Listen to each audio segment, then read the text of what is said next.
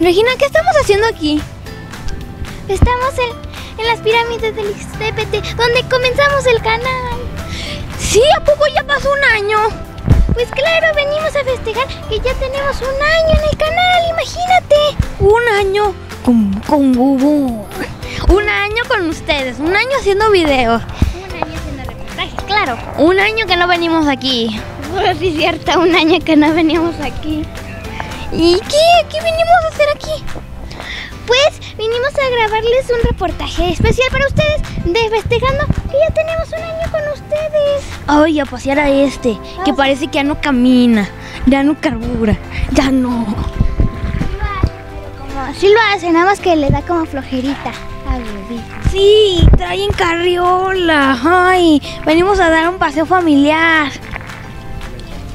Así que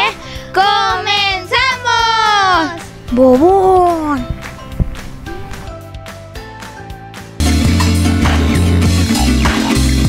rafayregina.com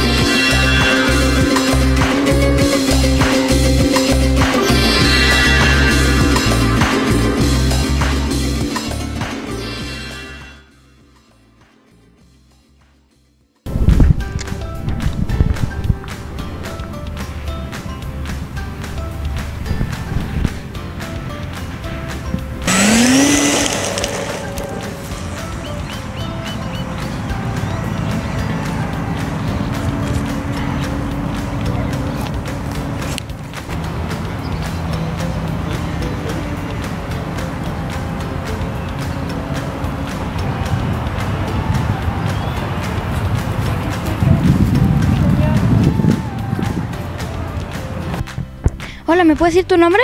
Sí, Sergio. ¿Cómo se llama lo que estás haciendo? Se llama pues, aeromodelismo. Normalmente aquí volamos puro avión eléctrico.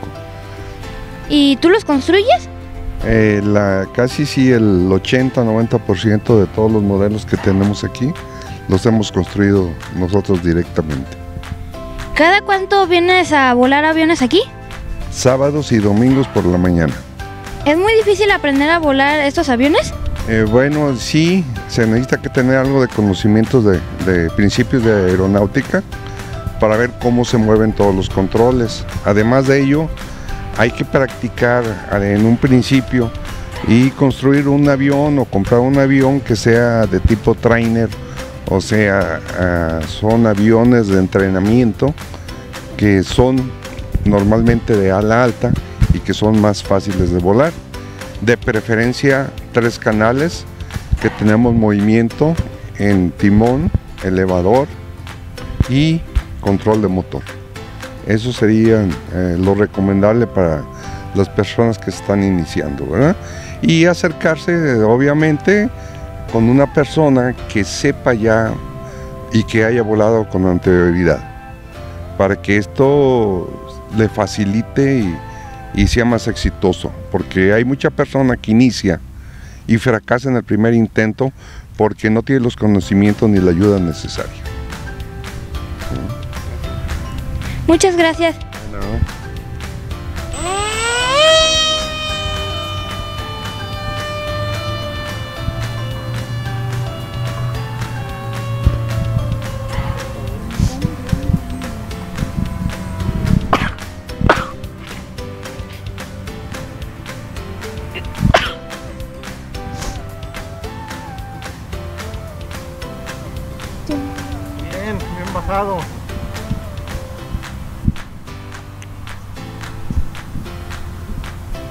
Regina, ¿te acuerdas de este lugar? Pues claro, aquí es donde pues, sucedió nuestro primer reportaje, Rafael Regina. ¿Te acuerdas cómo nos equivocábamos mucho y lo teníamos que repetir mucho y no sabíamos qué decir? Pues claro, nos trabábamos mucho y, y como que hemos cambiado mucho. Pues claro. Ay, aquí mis ojos no. Así que si quieren ver nuestro primer Primer reportaje, ¡corre video!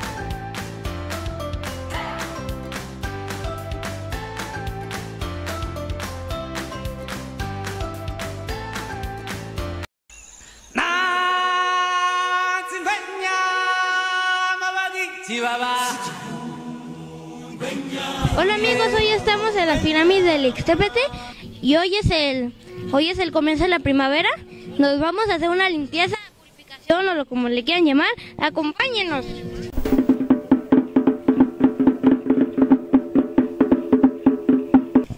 Hola, ¿cuál es tu nombre? Mi nombre es, el- soy el arqueólogo Igor Quintana. ¿Nos puedes platicar un poquito de tu trabajo? Claro que sí, la arqueología se dedica a estudiar el pasado y como ves aquí es un lugar donde, donde la gente vivió hace más de 1500 años.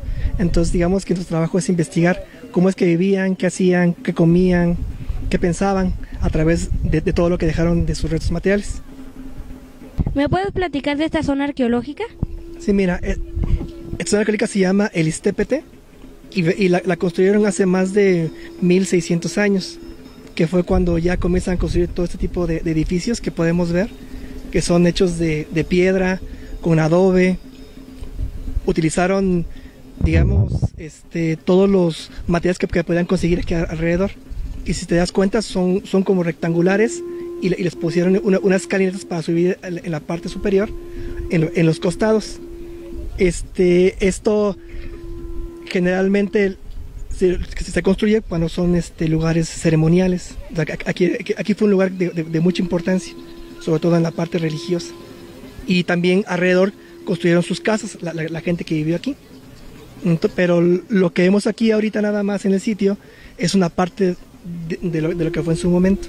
Ahorita ya con la ciudad que, con que ya creció, pues ya nada más quedó esta parte, pero digamos que es un, fue un centro ceremonial de- de- de gran importancia. ¿Cómo se le conoce a la gente que vivía aquí? Mira, realmente no, no sabemos un, un- un nombre como tal, porque no hay ningún escrito que nos diga, como, en- como en el centro de México, que sabemos que se llamaban este, mexicas y, o, o- o se llamaban mayas, ¿no? Aquí no sabemos, pero en en la arqueología lo, lo- conocemos como un sitio de la fase del grillo, que, que di- digamos que vivieron de, del 450 a el 900 después de Cristo, estamos hablando de hace más de 1500 años. Pero gracias a que con, todo el trabajo que, se ha hecho, se puede decir que la gente que, habitó aquí, por lo, menos vivió 400 años, los que, construyeron todo esto que vemos en esa parte. No, sabemos re- realmente ese nombre, pero será cosa de seguir investigando a ver si podemos conseguir ese nombre.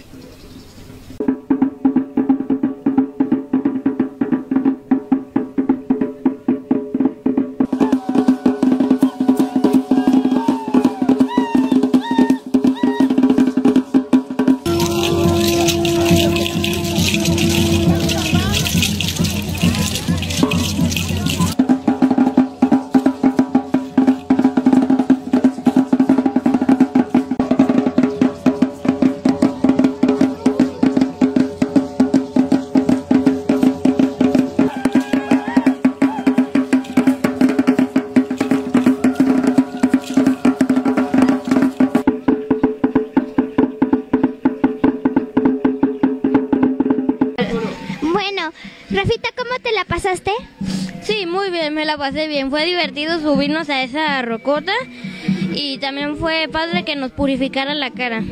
Y ah, me gustó que Azul conociera a, muchos amiguitos y en especial a la que se parecía, a la que se parecía, que, parecía que se llamaba Azula. Ya. A mí me gustó cómo nos subimos a las pirámides y me gustó ver cómo Azul hacía nuevos amigos. Y espero que les haya gustado y este es el noticiero Noti. RR. Hasta la próxima. Bye. Sal, sal. Ay, quédate, ay, quédate, ay, quédate.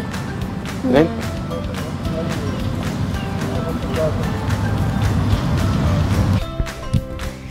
Amigos, ahorita estamos viendo aquí atrás como una purificación que les gusta hacer en el equinoccio de primavera, que significa que cambias de invierno a primavera. Aquí atrás podemos ver como, como una persona le hacen a otra persona. Regina. Y además de venirse a purificar y que de invierno se cambia a primavera, la gente también se viene a cargar de energía. Como azul. Ay, este se está durmiendo, nos está cargando. Se está cargando de energía. Aquí vienen en la pirámide y se cargan de energía. Este parece que está quemando energía. En todo México, claro. En todas las pirámides, no solo en esta. No solo en esta, claro, está en todas las pirámides de México también, como en esta. En otras. También se vienen a cargar de energía. Que ¡Oye, a quemar energía! Hasta de las dos.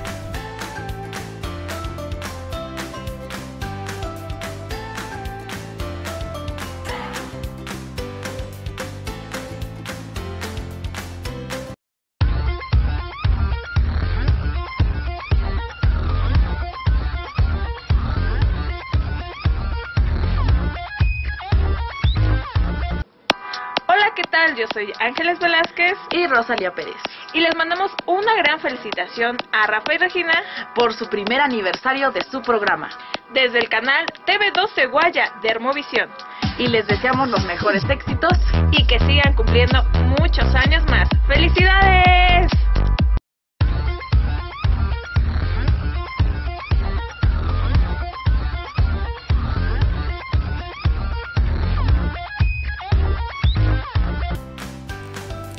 Felicidades Rafa y Regina por su primer aniversario. Sé que vendrán muchos más y todos muy exitosos. Son unos niños lindos, muy talentosos y muy simpáticos. Mucho éxito y los quiero mucho. Rafa, Regina. Ah, ah, espero que estén muy bien. Y, y, y ella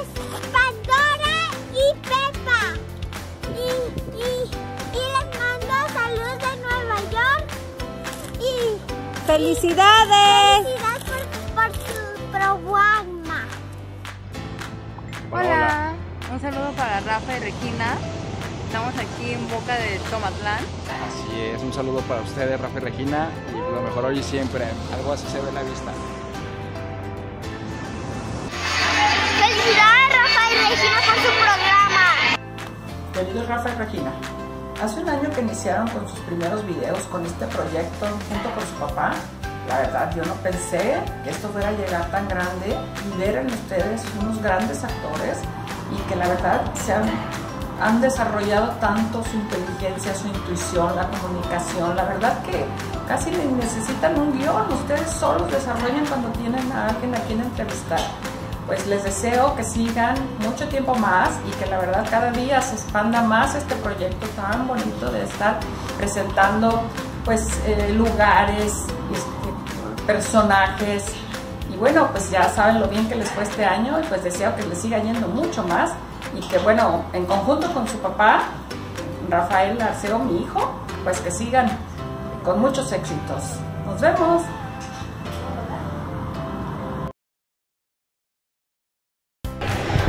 Nos encontramos en la Plaza de, la Liberación. ¿Y dónde estamos?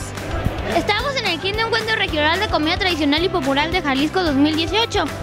Rafita, así que comenzamos. No, espérate, espérate, espérate. ¿Pero a comer? Ah, aquí traigo maicitos.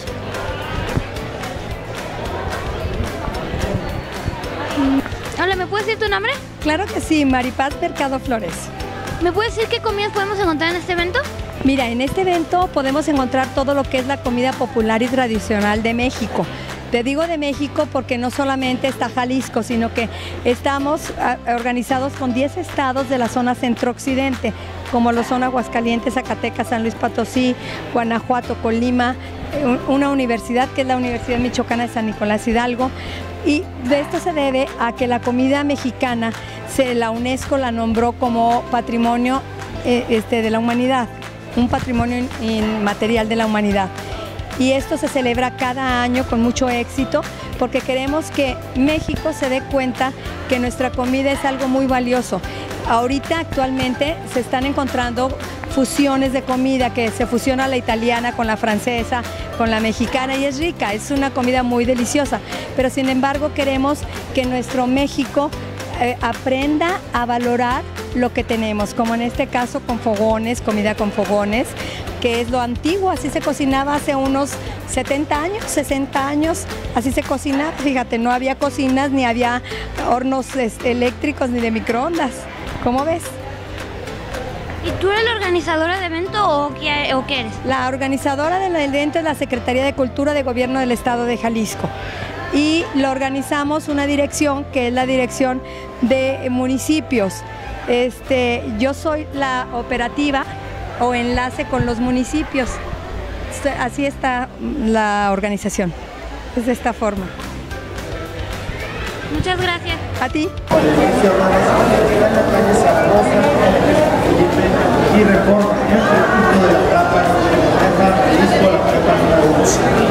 ¿Me puedes decir tu nombre? María Guadalupe Hernández Timas. ¿De dónde vienes? Vengo de una comunidad chiquita que se llama Santa Fe de la Laguna, municipio de Quiroga, Michoacán. ¿Qué, qué comida cocinas? Yo cocino la comida ceremonial, comida este de día y comida para fiestas, pero en esta ocasión traje la comida ceremonial porque estamos para nosotros en una temporada que es la Semana Santa y es muy ceremonial en esta época la comida. ¿Y qué es ceremonial? Es ceremonial es cuando nosotros hacemos las comidas siempre pensando en la naturaleza, de pedirle permiso para prepararlos primero, donde cosechamos en la mañana, pedirle a nuestro Padre Sol, al abuelo Gran Sol, a Curicaveri, para que Él nos permita darnos un poco de lo que Él nos regala día a día. Entonces nosotros así vamos primero todo, todo cosechando, pensando en lo que se va a hacer. Después cuando preparamos la comida, pedimos también primero al fuego para hacer el fuego que nos permita, ¿no? Y después cuando ya estamos haciendo los alimentos, también pedimos para que esa comida llegue a, a, ser sana y que tenga provecho para toda la gente que va a comer. Y ya en la última parte es cuando ya les ofrecemos ya la comida primero a nuestros padrinos que acompañan los viernes de cuaresma para comer juntos en la casa grande y se sirve primero con flores, se sirve bien este de gran respeto y se sirve también con con este con platos importantes. Preparamos hasta todos los utensilios que usamos y, y así este ya este, los llevamos con respeto a nuestros padrinos, le ofrendamos primero también a la naturaleza, también tiene su plato aparte en un lugar donde tenemos el altar. Ahí ponemos primero el primer plato va a ser para la madre naturaleza y ya después los padrinos y ya comemos todos juntos. Esa es una ceremonia, estar, estar pensando desde adentro, no como nos han enseñado, no tiene que ser algo superficial. El saludo tiene que salir desde adentro. La, la, comida que se va a ofrecer se ofrece desde el corazón para que le haga provecho a la persona. Entonces esa es la parte que estamos ahorita nosotros este, en esta temporada pensando en un hacia dónde vamos, hacia qué queremos y qué vamos a dejar a los niños que vienen. ¿Me puedes explicar de tu vestido? Sí, cómo no, yo traigo un vestido, como te decía, de la ceremonia, este es el vestido que nosotros usamos en una ceremonia para llevar y ofrecer la comida.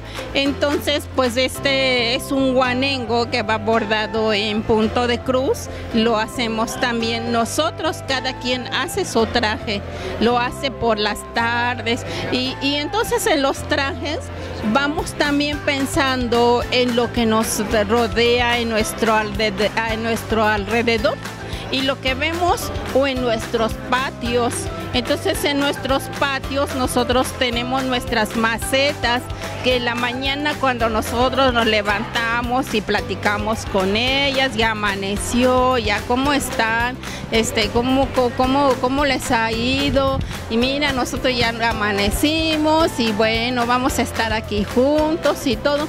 Y de ahí vamos viendo los tonos de los colores en el patio o en el campo donde vamos también. Allá vemos y decimos, voy a hacer mi guanengo de ese color. Y ya vamos haciendo, buscamos los hilos y así vamos haciendo como en nuestro jardín. Por eso nuestros, nuestro traje lleva siempre flores, hojas, las olas del lago, llevan todo lo que vemos, el cerro, los animales. Eso es lo que nosotros bordamos y este es nuestro traje que usamos. Muchas gracias. A ti, muchas gracias. Isabel. ¿Me puedes decir tu nombre? Patsuani. ¿Qué, qué significa? Elena que se adorna el nacimiento del niño Jesús. ¿En qué lengua es? En purépecha. Qué bonito. En español. Qué bonito nombre tienes. Gracias. ¿De dónde vienes? De la isla de Janecio. ¿Sabes cocinar? No. Bueno, muchas gracias. Sí. Man, ¿Me puedes platicar de dónde vienes? De una isla que se llama Janecio y hay un lago en medio.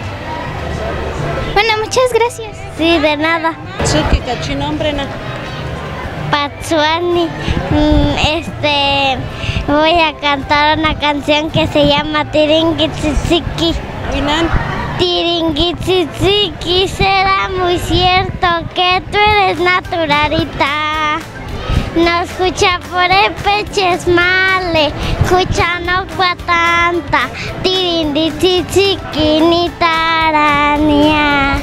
Sipen, sipen male, hanik sapichu erontania. No escucha por el peches male, escucha no pa tanta, tirinditsitsiki ni tarania. Es- Regina, ¿me puedes explicar eso de las clases de English House? es que te varas medio rarita. Bueno, la- cada semana dura, hay dos clases.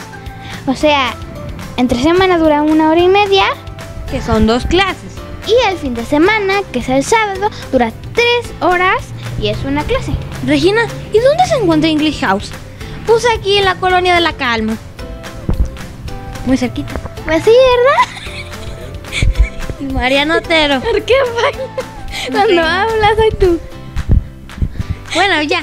Regina, ¿y qué hacen cada mes en English House? Pues pueden rifar algo como un cuaderno para dibujar, un libro en inglés, una, película, una tarjeta de Netflix, un juego de, mesa. Así es para que se les haga más divertido para aprender. Hasta una supercata. No, eso no. Regina, ¿has un poder English House? No, solo es para niños y para adultos. Regina, ¿quieres que les cuente? ¿Quieres que les cuente de los niveles? Pues sí. Hay siete, hay siete niveles y cada uno dura tres meses. Al principio, cuando vas a entrar a English House, te hacen un examen para ver qué también andas de inglés o no sabes nada de inglés. Eso depende de en qué nivel te ponen de English House. Pues a mí, yo estoy en el 3. Y yo voy en el 2. Son siete niveles que cada vez subes cada tres meses, ¿verdad? Sí. ¿Y cómo son las clases de English House? Son aburridas. Son súper mega divertidas que se las recomiendo a ustedes, claro. A mí me están poniendo unos tickets que los tengo que dar a la maestra cada vez que hablo inglés. Que, que diga cada vez que hablo español. Que al final que tenga más tickets se gane un premio. ¿Cómo la ven? Está divertida. Ay, Regina, ya. Ay, hay que llevarnos a English House. Regina, ya vámonos porque se nos hace tarde. Pues sí, ya vámonos a English House. Adiós. Bueno, venimos a agradecer a todos los que nos han apoyado mucho con el canal, ¿verdad? Y también los que no, ¿verdad? Sí, muchas gracias a todos los que nos han apoyado, nos han mandado videos, nos nos han invitado cosas. También, también a los que no, pues a, pues hay veces a los que no, los que pues no, no quiere, no quiere que les hagamos reportaje, por ejemplo. ah, ¿Quiénes son estas niñas? Fuerte, fuerte. Y al rato van, vienen y, nos llaman y dicen, ¿verdad que quiere que, los- que le hagamos reportaje, verdad? Sí. También muchas gracias a ustedes que nos han apoyado mucho, nos han puesto buenos comentarios en todos los videos. Y así, también muchas gracias al azul que, que, que, que aguantó este sol, ¿verdad? Sin ustedes no seríamos Rafa y Regina, ¿verdad? Más bien el canal no sería Rafa y Regina. Bueno, sí. Y también sin azul. Porque azul es azul. Bueno, y... ¡Ay, tiene calor! Informa para ustedes Rafael Tarceo y... Y Regina Arceo y... ¡Azul! ¡Feliz primer aniversario! Y equivocación de nombre.